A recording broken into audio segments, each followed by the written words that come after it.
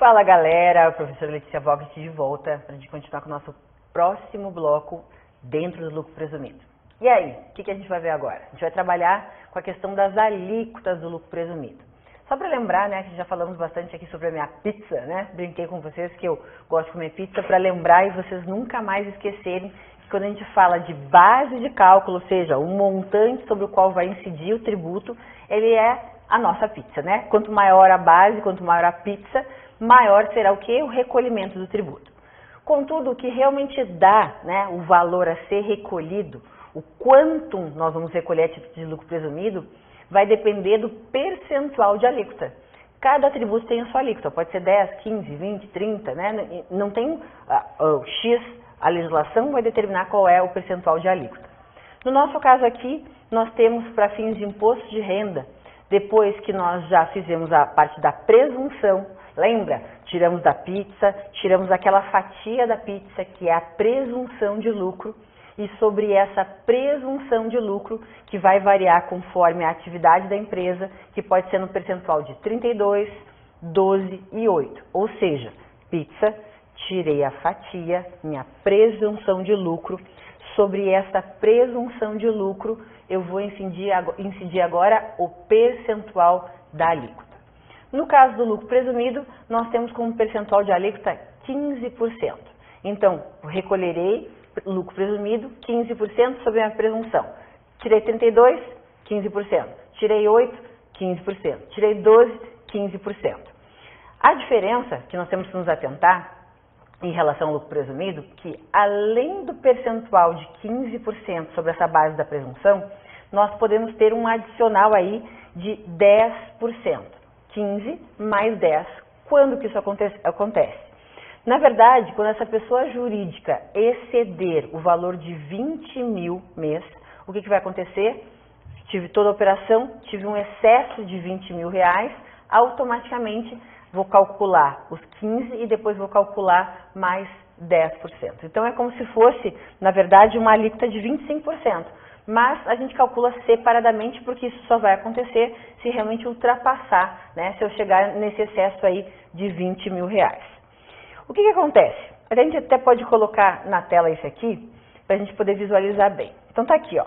15% sobre o valor da base de cálculo, que a gente acabou de, de dizer, né, que é a nossa fatia, de qualquer sistemática de apuração acrescido de 10% quando o limite mensal ultrapassar 20 mil.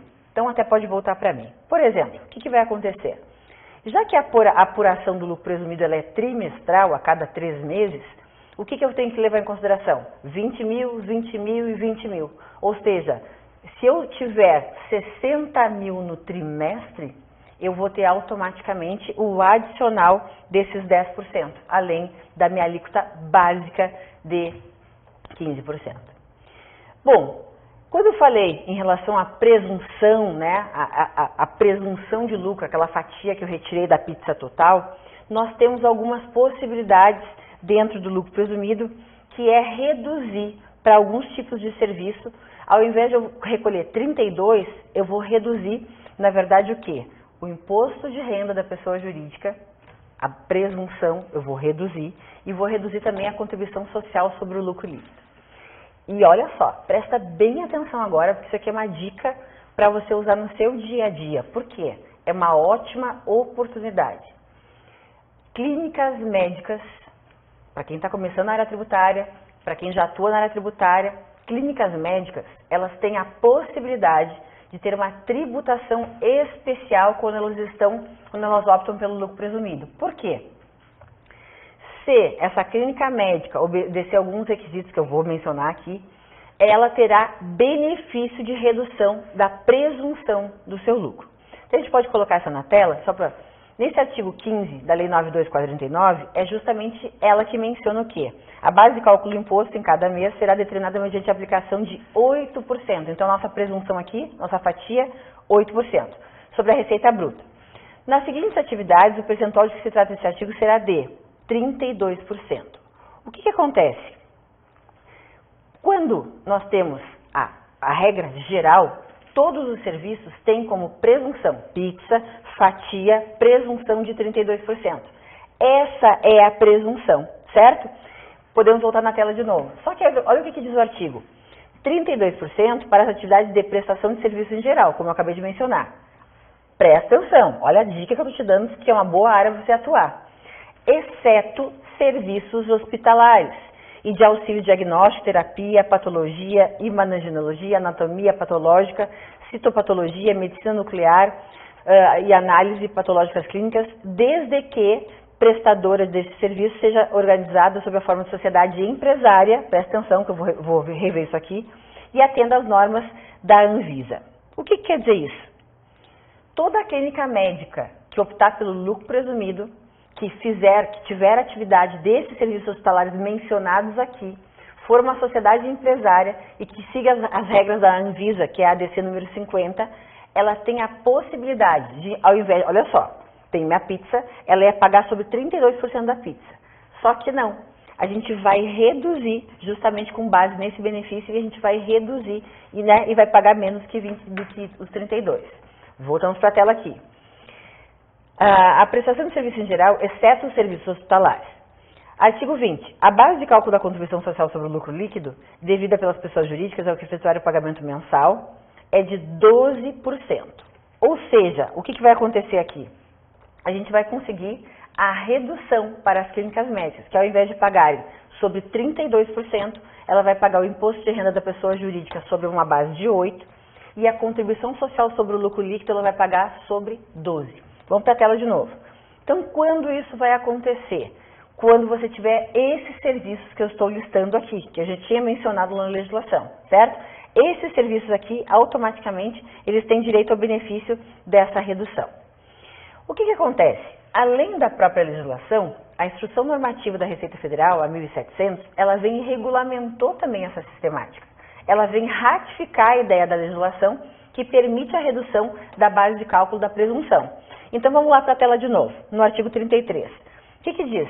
Que o imposto de renda da pessoa jurídica, mediante aplicação do percentual de 8 da receita bruta, e mais abaixo ela diz o seguinte, 8% sobre a receita bruta oferida. Quando? prestação de serviços hospitalares, auxílio diagnóstico. Ela menciona tudo que já tinha sido mencionado na lei anteriormente, no artigo 15, e ainda complementa. Ela ainda faz a opção de colocar exames por métodos gráficos. Ou seja, né, o que, que acontece aqui? A gente tem a, a instrução normativa, ela ampliou o artigo 15 da Lei 9249, trazendo esse benefício aí para as clínicas médicas que são prestadoras de serviços médicos. Depois vocês vão dar uma olhadinha no material de vocês, vocês vão perceber que tem alguns pontos que já descrevem. Até vamos trabalhar com isso agora, para não ficar bem claro. Quando a gente pega essa RDC número 50, que é da Anvisa, ela define cada um daqueles serviços lá que a gente mencionou, ela define o que, que são esses serviços. Então, por exemplo, métodos gráficos, que é um tipo de serviço hospitalar que vai ter a redução da base de cálculo, ou seja, a redução da presunção para 8 para 12, você vai ter que olhar para a clínica médica e vai dizer assim, escuta, o que, que você faz aqui? Deixa eu ver, você faz métodos gráficos? Faço. Mas o que, que faz um método gráfico? Prepara paciente, realiza exames que são representados por traçados gráficos, emite laudos de exames realizados, enfim, vamos para o próximo. Deixa eu passar aqui, ó. Então, assim, o que, que vai acontecer? Deixa eu passar mais um aqui. O que, que vai acontecer? Quando a gente tiver essa previsão do artigo 15, que você tiver o inciso 1 ali, todos esses serviços, você tiver a, a, a clínica médica formada como uma sociedade empresária e ela obedecer às normas da Anvisa número 50, automaticamente o que, que acontece? Ela pode ser uh, beneficiada pela redução da presunção de lucro pela de 32 vai baixar para 8 e para 12, ok? Portanto, converse com o cliente, converse com a clínica médica, identificou, o que, que, tá, que, que eu estou te dando a dica aqui? Não estou só te mostrando como é que funciona o lucro presumido. Estou te mostrando aqui a possibilidade de você atuar no mercado com uma área de planejamento tributário médico. Por quê? Existem muitos médicos que trabalham hoje em dia como autônomos ou com CLT e eles como autônomos eles têm uma carga tributária muito alta. Se você orienta esse médico para que ele constitua uma clínica médica, uma pessoa jurídica, de forma empresária, que ele consiga fazer enquadramento pelo lucro presumido, porque as atividades que ele presta estão relacionadas aqui na, na, na Lei 9249, artigo 15, na IN 1700 e no, na URDC número 50, automaticamente você consegue uma redução para ele do lucro presumido. Às vezes, a Receita Federal ela não, não acolhe o pedido imediatamente e não aceita. Se você tiver algum tipo de atividade que a Receita, por meio de solução de consulta, se manifeste contrário a esse benefício fiscal, qual é a melhor alternativa? Você pode optar por, por ajuizamento de uma medida judicial, onde você vai discutir dentro né, do judiciário se cabe realmente enquadramento dessa clínica médica com esse benefício, com a redução aí para a base de 8 e 12 e não de 32%. Vamos pegar esse que está na tela aqui agora, só para vocês terem uma ideia. Ah, professora, não sei o que, que quer dizer imane... I, olha, a professora não consegue nem falar esse negócio. Imagenologia. O que, que é isso, gente? Então, a gente vai lá na RDC número 50 da Anvisa e aqui vai descrever exatamente o que é feito nesse paciente dentro da clínica médica. O que você vai dizer para o médico? O que você faz? Ah, faço imagenologia. Você faz, você procede com lavagem cirúrgica das mãos, você faz preparação de... Faço tudo isso aqui. Então, beleza. Então, é, notoriamente você está realmente enquadrado aqui nesse benefício. Por exemplo, você faz também anatomia patológica, citopatológica, está perguntando para o médico da clínica. Faz. Pois é, isso também, de acordo com a legislação e de acordo com a Anvisa, também dá direito aí à redução da presunção de lucro no lucro, no lucro presumido. Outro caso da, que mencionava a lei, desenvolvimento de atividades de medicina nuclear. Está aqui, ó. O que, que faz isso? Você vai pegar a RDC número 50 e vai ver exatamente lá no item 4.5 o que, que faz essa atividade. Automaticamente, se a clínica fizer, você também vai poder pleitear aí essa redução. No item 4.8 temos a outra atividade que também possibilita essa redução, que é o desenvolvimento de atividades de reabilitação em pacientes externos e internos. Também, se, a clínica fizer, você vai poder fazer isso.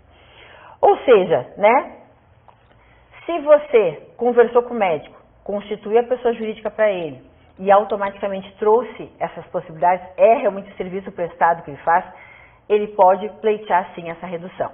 Não se aplicam, isso aqui não se aplica para consultas médicas, tá? Não se aplicam. É apenas realmente para esses serviços hospitalares. E lembrando que, quando a gente fala de sociedade empresária, o que é uma sociedade empresária? Nós já mencionamos aqui o que? Código Nacional Econômico é o código que identifica o que, que aquela empresa faz, o que, que aquela atividade econômica da empresa.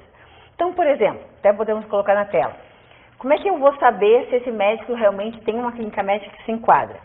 Se ele tiver um KINAI, por exemplo, atividade médica ambulatorial restrita a consultas, ele não vai ter direito a esse benefício. Por quê? Porque consultas médicas, de acordo com o STJ, não posso reduzir a base de cálculo do lucro presumido, porque consultas médicas não se enquadraria aqui. Então, quando você constituir, na verdade, a, a sociedade empresária para o médico e optar pelo código a atividade econômica, você tem que ver exatamente o que, que ele faz identificar o KNAI que realmente é de serviço hospitalar, mas claro, e tem que ser feito na prática, não adianta mascarar, criar um que, né, que é só para conseguir o benefício, que isso vai dar problema, e faz aí o enquadramento dele com esse tipo de redução. Outra questão, você pode sim também ter um médico aí que tem o quê? Sociedade empresária limitada, certo? Só que tem um detalhe, até posso ter esse benefício? Pode. Só que na sociedade empresária limitada, ela não pode ser prestada só pelo próprio médico. Então, por exemplo, um médico que tem uma sociedade simples, que é ele mesmo prestando o próprio serviço, eu não consigo fazer enquadramento nesse benefício. Por quê?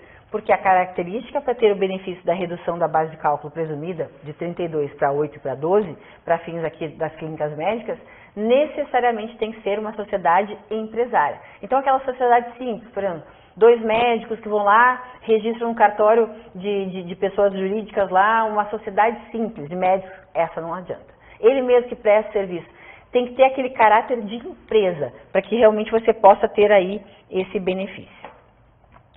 Quando você fizer a, abertura da empresa, você automaticamente tem que pensar justamente nesse sentido, para que possa fazer a orientação de forma correta para o seu cliente, ok? E por último, o último requisito que tem que realmente obedecer, como eu já havia mencionado antes, é estar enquadrado nas normas da Anvisa.